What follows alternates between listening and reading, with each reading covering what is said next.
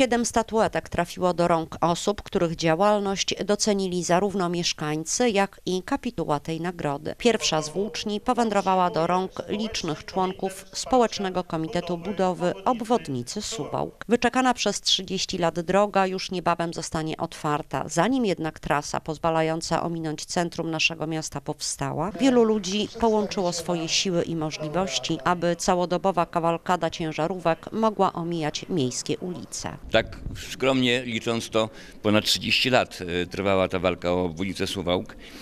E, Sił nam starczyło, jak widać obwodnica jest, nawet piękna, chociaż nie do końca pomalowana.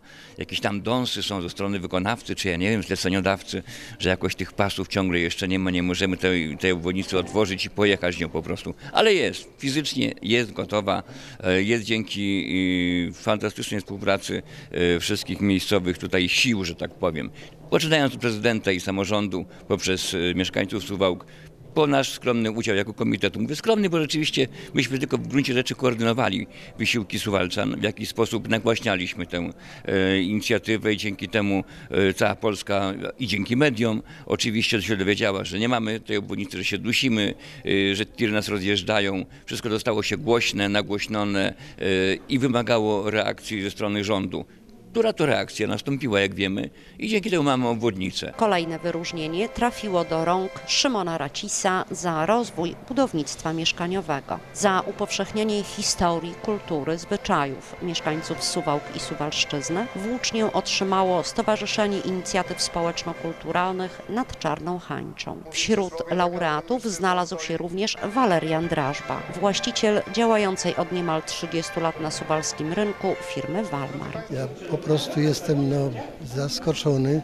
mile tą nagrodą i myślę, że to jest takie uwieńczenie mojej prawie 30-letniej pracy w danej branży. Już nie, w przyszłym roku obchodzę 30-lecie istnienia firmy Walmar. Do grona nagrodzonych trafił też Jerzy Broc za osiągnięcia sportowe, przełamywanie barier i promocję Suwałk. I dzieci zajmują się sportem i pradziadek. Po części jest to również wpływ tego, że baza sportowa w Suwałkach w ostatnich latach bardzo się rozwinęła. Stadiony piłkarskie, lekkoatletyczne, przyszkolne boiska. Wprawdzie ja rzadko z tego korzystam, bo głównie biegam po chodnikach, ale baza sportowa po prostu się rozwinęła i to jest zasługą no, gospodarzy os- ostatnich lat, nie tylko po prostu pana Rękiewicza, ale również jego poprzedników.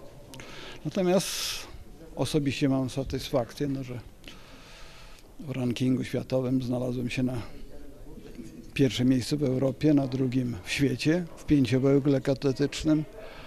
No co w moim wieku, gdy trzeba i skakać, i biegać, i rzucać, raczej jest dosyć nietypowe, ale rodzina wybacza jakaś. Dziękuję. Jeszcze ja zapytam, y, czym dla Pana jest ta nagroda? Doda mobilizacji?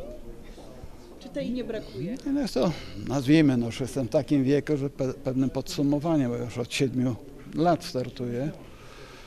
I sądzę, że może być zachętą również dla innych, no bo jak ktoś patrzy, że dziadek już pod osiemdziesiątkę może działać na niwie sportowej, startować, to również tu środowisko no, seniorów, które jest dosyć aktywne, bardzo i sportowo, że też mogą brać udział, no i się doczekać też włócznia dźwigów od pana prezydenta.